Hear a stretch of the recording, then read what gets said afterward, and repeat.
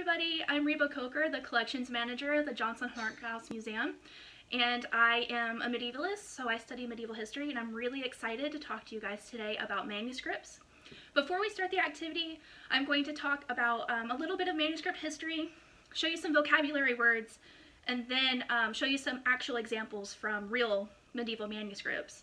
So first things first, what is a manuscript? Manuscript comes from the Latin uh, manu plus scriptus, which just means having been written um, by hand. So any type of note, scroll, book that has been written by hand is considered a manuscript. So it's really easy. Even your, um, your mom's grocery list that she wrote by hand on a piece of paper would be considered a manuscript. Um, printing didn't um, start becoming popular until after the printing press was invented by Johann Gutenberg in 1440. But even after printing um, starts becoming more popular, you still get uh, handwritten manuscripts. So what is a manuscript made out of? I'm sure you're sitting at home and thinking, well, our books today are made out of paper, and while that's a great guess, it's actually not quite right. Um, manuscripts are usually made out of parchment. Parchment is just animal skin. Usually, um, cow is the most common, but sheep and goat, sometimes deer, even squirrel, could be used um, to make parchment. And this is what they used before paper. Paper doesn't become uh, commonly used in Europe until around um, 1450. So to prepare your parchment, you, you get your animal skin and you make sure it's nice and dry. And so you'll like stretch it and dry it for several days. And then you'll take um, a scraper and you'll scrape off all the hairs. If you um, see an actual manuscript uh, with uh, some good parchment, you can usually see which side was the hair side and which side was the, um, the inside part. Um, unfortunately, I don't have a good example to show you. The manuscripts that I have today are not, um, it's really hard to see the difference between the two. So after you have your page, you have um, your, your animal skin, your parchment, it's all been cut down to a nice little, you know, little rectangle, little page. Um, your parchment will be sent usually to a monk or a nun. During the Middle Ages, not very many people were able to read and write. And um, so most books are written by monks and nuns in a monastery. Monasteries actually become the first um, place that universities, that's where universities are, were uh, founded was in the monastery. So your monk or nun, they get your they get the page, and they do a process called pricking and ruling. So today you write on lined paper. It's kind of the same concept. They will lightly draw lines on the parchment to make sure that when they're writing out their words, it all fits in the page and looks nice. Um, not every manuscript has been pricked and ruled, but for especially like um, an expensive manuscript, this is really common to do. So before you start writing, you will kind of sketch out how you want your initials to look, how you want your script to look on the page. And then you begin writing. And during this time period, the um, handwriting is not your unique handwriting. So my handwriting looks different than um, Jen Bush, the director's handwriting. But if we were um, living in the 8th century in southern Italy, for example, our handwriting would look more like this. This is called Beneventan, and this is um, a very common script that was used in southern Italy between the 8th and 13th century.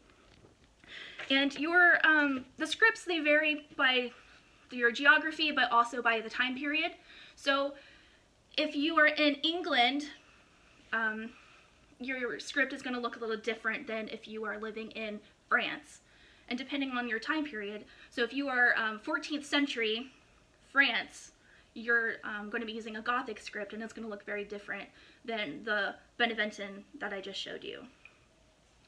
So after everything is written out, you will then take your, um, your pages and give them to another monk or nun, and that's when they will start doing illuminations.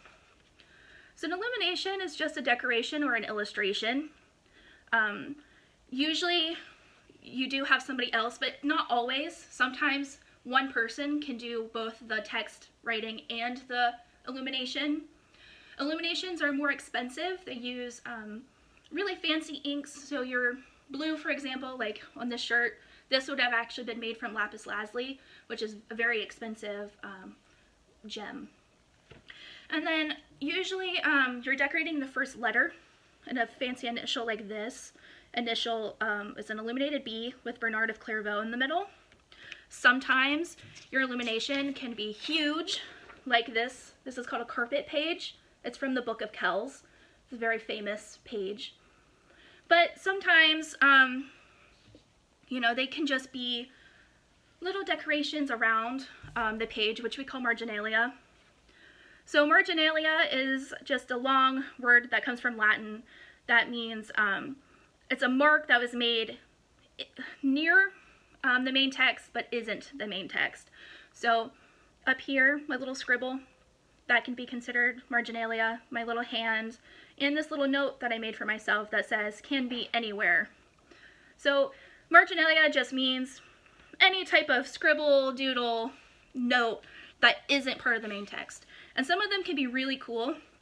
So this page is from the Smithfield Decretals, and the bottom, this is an illumination, but it's also considered marginalia because it's not part of the main text here. And if you get closer, this initial would be considered illumination, but up here, this is illumination too, but this would be considered marginalia. And all these little underlines and the notes, those are marginalia as well. So I just wanted to give you a little bit of background before we start. And the next part is the exciting part where we actually start our own um, illuminated manuscripts. For the illumination activity, um, you should have a bag. In your bag will be a pencil, watercolor paper, a watercolor palette, glitter glue, a paintbrush, script and doodle inspiration, instructions and fun facts. You will need clothes to paint in. Watercolor comes out of clothes very easily, but you might want to wear a paint shirt. And then you'll need a cup of water.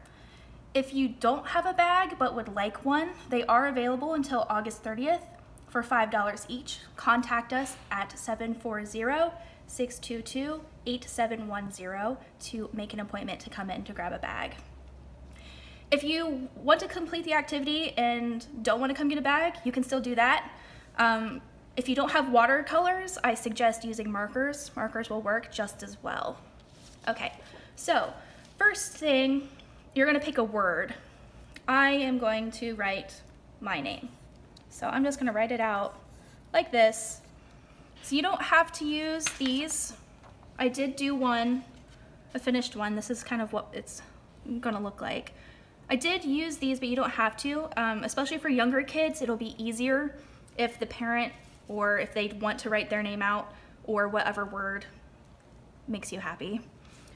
And then um, really you're just gonna decorate it. So I like to use these little inspiration sheets to kind of help me figure out what I want my letters to look like. So um, you can really make them look however you want. I'm just gonna start with a nice fancy R and maybe I'll do one of these I'll come back to it. And then this little guy, I'm gonna make into a cat because I'm obsessed with cats and I love them so much. And then I'm just gonna make it a little tail. And then for the bee, I'm gonna do another one of these. Maybe do some spikes. And then move that out of the way. And then for the A, let's make it into a fish. So his little eye, give him a fin, and then make this his bigger fin. And then give him a little fin down here. So I'm going to make my letters look like this for now. And then um, I would suggest doodling out any type of marginalia you want to do. So if you want to make um, a little uh, sea monster, you'll go boop, boop, little triangle, and then loop, loop, Then you make his little head. It's kind of like boxy. And then give him little horns and open mouth, an eye, and then kind of, this is where he'd be coming out of the water. Then we'll add spikes. I'm not the best drawer. That's okay. You don't have to be.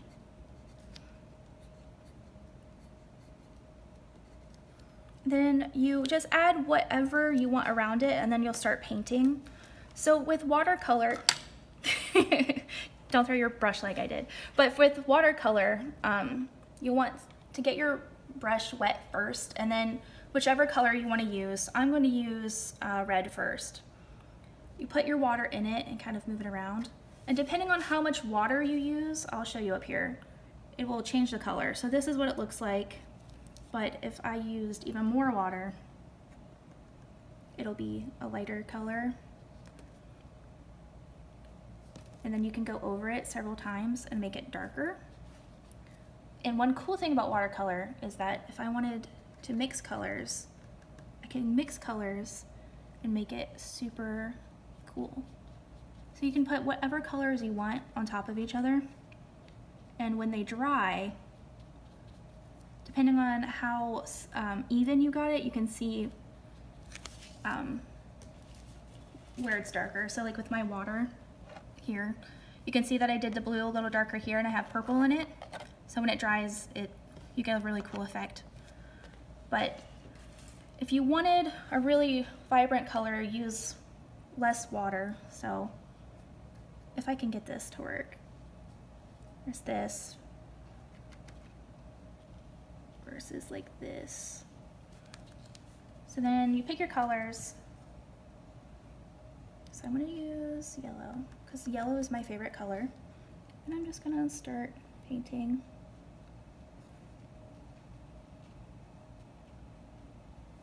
And then I decided just a moment ago that I want to do polka dots. So I'm going to do red polka dots. I'm just going to kind of put them in. I also really like how when you put in a dot or something, it spreads throughout. So it can also help you mix color if you just want to dot it. And if you wanted to, you could dot it and then like do this and that will change the color, but see how you can, you can still see the dots but it mixed the colors in the middle. Then for this bee, I think I want to do extra waves. Let's do the cat next. Um, orange cats are cute, so let's do orange.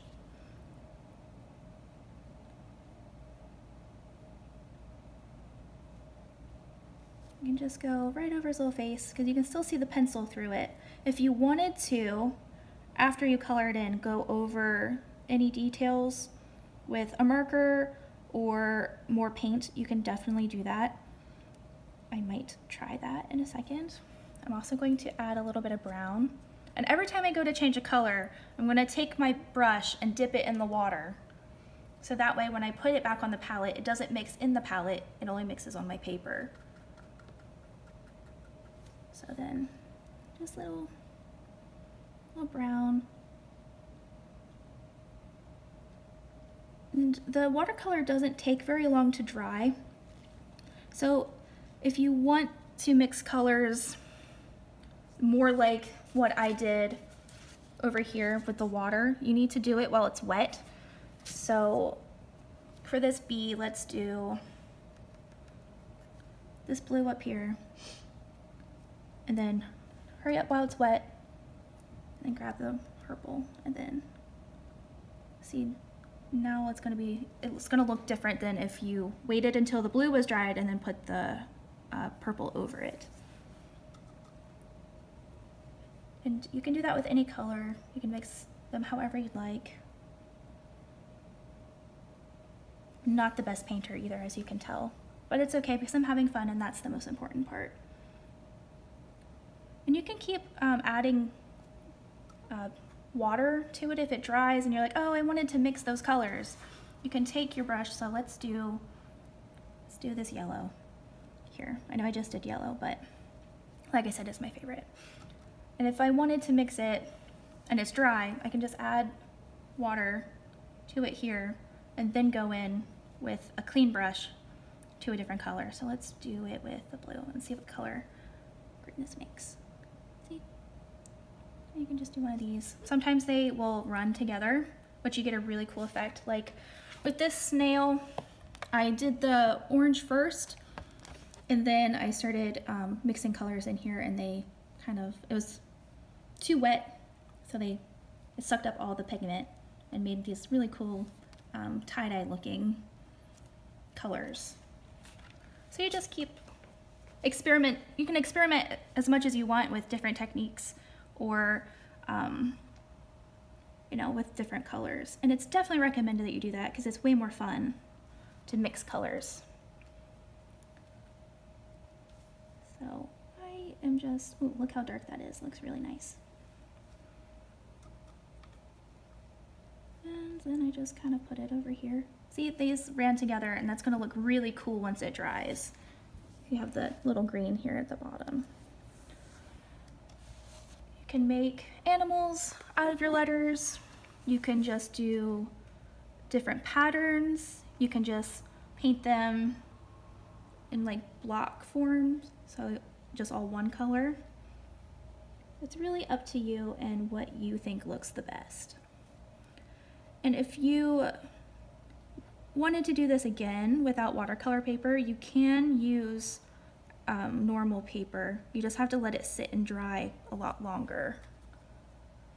I am using a normal type of paper for this. And I just kind of put it on here. And as um, you spread your paint down, it will get lighter. So you might have to like go back through with your um, whatever color you're mixing on top.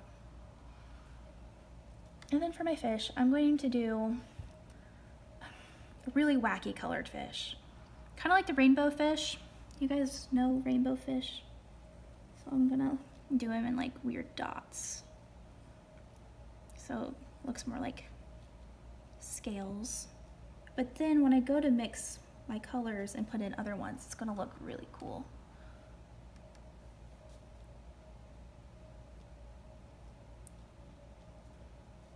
And if I wanted to mix these a little better, I could just add water, clean water, to the to the little thing, paper, like this.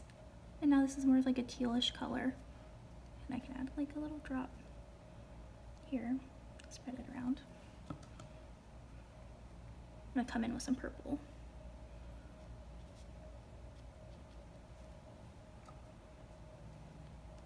It's just mostly about having fun and experimenting with color and doing what makes you happy. Lots of colors together make me happy, which is why my fish looks like this. I really like when there's a lot of water on there and you take a color and you kind of like push it on there and it goes boop. Sometimes that happens, that's fine. So once you kind of get this the way that you want it, so let's go in and see about painting the cat's face with a little black. Give him some eyes. Nope, not enough color on there. This might not work as well as I want, but that's okay. Because then I could also go in with some brown, kind of make it look a little better. If you don't like something the way a color looks, it's really easy to add different colors and make it look um, different so you can fix whatever you mess up. It's not like with acrylic where you can completely paint over it, but you can add different colors to change the way it looks and it's really easy to just paint over it. So this is what I have so far. It's very different from this other one that I made. Um, but after you finish painting everything I guess I should paint my dragon. Let me paint my dragon first. Oops. And it's okay if you get out of the lines because the next step after you finish painting, you're gonna go over everything with um, glue. And I will show that to you in one second. Let me speed paint this really fast. See, I started here and I had the most pigment And because it started getting dry and I lost water, like it became a lot lighter. So go back in and get some more pigment and brush it on there.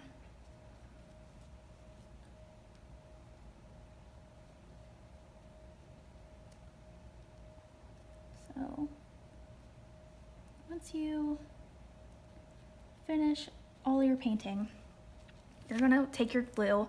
You will have either um, silver or gold. And this is because in an actual manuscript, especially expensive ones, they're using real gold and um, really expensive gems to make inks. And the gold leaf is the most expensive and it always looks really nice. So you're gonna take your glue and you're actually going to outline it. This might be hard to see and you have to make sure this is dry. So do make sure this is dry so you're not gonna smudge it. Um, you're going to then outline your work, which is why it doesn't matter if you go outside the lines because once you get the glue on there, especially since you guys have either a gold or a silver, it's gonna cover up any mistake you might have made. So it's very forgiving. You can just sit over here outline it. And if you don't want to outline everything, you don't have to. I'm, I got a little much there, so I'm just gonna buff it out. But you don't have to follow the exact um, structure of every stroke you made. So with this, I didn't connect it here because I think it looks nicer if I just go around. But this will also help it stand out. So any place you want it to look extra fancy, just go outline it with your glue. So like here, I'm just going to um, go ahead and go around the cat, but not do the cat's face. I'm getting a little crazy with my glue. Parents, you might have to help um, the younger kids with this part because the glue does kind of stick a little. It's kind of hard to get out of the bottle. But you'll just kind of outline it. And it will definitely, yours will definitely look a lot better because you can actually see your glue and mine's clear, it's just sparkly. And then when you're done with your glue, you're gonna have to let it sit um, for at least two hours, but I recommend leaving it sit flat overnight because that way you guarantee that it will um, dry. Otherwise, when you lift up the page, it's gonna run down and it could you know, go all over everything that you made. Especially like if you didn't want glue in a certain spot, you really need to make sure it's dry first. Um, so yeah, you just go over every anything that you want to go over for emphasis, and you're done. You, um, it's really fun. You just have to be creative and do everything that makes you happy. You can do words um, like sunshine or fun, it doesn't matter. You can use your name. It's really up to you. This whole project is um, something just for you to express yourself and have fun creating different shapes and mixing color. Like look how good the colors look in the fish. See? Just because I dotted it and wanted to see what would happen. So have fun with it. Please tag us in any photos. We would love to see your artwork. Um, so you can um, comment on the video on Facebook and we would be very, very excited to see your work. So thank you.